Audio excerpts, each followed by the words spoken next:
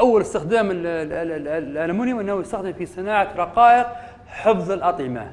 اللي هو نحن نقول عليه القزير هذا اللي يلفوا به الدجاج والأطعمة وني آه، لأنه قابل طرق ريت أنا ربطت الاستخدام بالخاصية. يعني آه، لماذا يستخدم في صناعة رقائق حفظ الأطعمة؟ لأنه قابل شنو؟ قابل للطرق. في معلومة عامة هنا. في معلومة شوفوا بعضنا هكي شو تقول معلومة عامة المعلومة العامة هنا الورق الألمنيوم ورق الألمنيوم هذا. آه، لما يلفوا به الطعام نحن نقول عليه الجزير. حرارة الطبخ هذه الحرارة بتاع الطبخ هذه بتاع الأكل هذه تعمل على خروج الألمنيوم من الورق إلى الطعام والتفاعل معه خاصة إذا كنت تستخدم الليمون أو الخل في عملية الطبخ.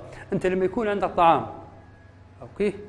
ولفيته بالجزير طبعا الحرارة حتكون بالداخل. هذه الحرارة تعمل على خروج الألمنيوم من الورق إلى الطعام وهذا طبعا ضار بالصحة.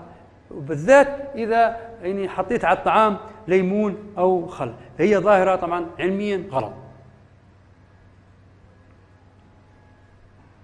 نجول رقم اثنين. يستخدم الألمنيوم في صناعة أدوات الطبخ مثل أواني آه، أواني القلي أواني القلي. ليش؟ لأنه موصل حرارة.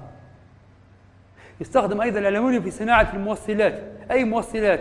مش لساك كهربية داخل البيوت لساك اللي في اللي في الشارع. نعم عليه موصلات علوية. لأنه خفيف وموصل إيش؟ للكهرباء.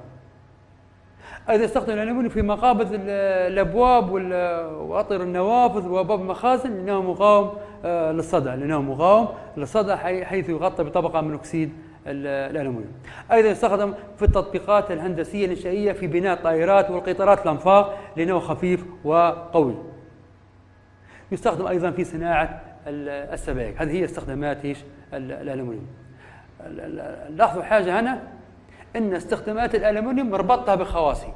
استخدامات يعني لما نقول لك الالومنيوم يستخدم في صناعة ادوات الطبخ لأنه موصل إيش؟ للحرارة.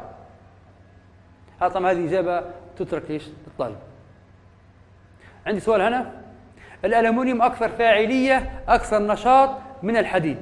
بماذا تفسر ضعف تفاعلي الظاهر ومقاومة صدى؟ طبعا الحديد يصدى لكن الالومنيوم لا ما يصدش معنا الألمنيوم أنشط من الحديد. الإجابة؟ الإجابة لأن الألمنيوم عندما يتفاعل مع الهواء الهواء يغطى بطبقة رقيقة واقية من أكسيد الألمنيوم على سطحه. هذه الطبقة لا تتقشر يعني ما, ما تنسلخش. وتجعل الألمنيوم مقاوم للصدى وتسمى هذه العملية بالخمول الكيميائي أو الخمول الظاهري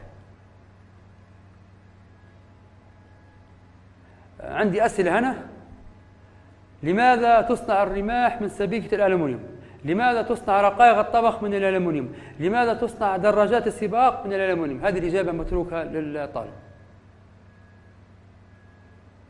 في عندي تقويم. هنا يستخدم الألمنيوم في صناعة الدبابات؟ صح لاستقبال أواني طاهية. طبعا أواني طاهية. سؤال ثاني. يستخدم الألمنيوم في صناعة الطائرات لأنه خفيف وقوي لا يزدى طبعا الإجابة خفيف وقوي. السؤال الأخير. الهواتف المحمولة المضادة للماء تصنع من الألمنيوم لماذا؟ لأنه خفيف لأنه مقاوم للصدى. طبعا لأنه مقاوم للصدى. وبالتالي أعزائي الطلبة والطالبات انتهى الدرس الرابع هو الألمنيوم وانتهت الوحدة الثالثة هي استخلاص الفلزات مع تمنياتي لجميع طلبة وطالبات النجاح والتوفيق.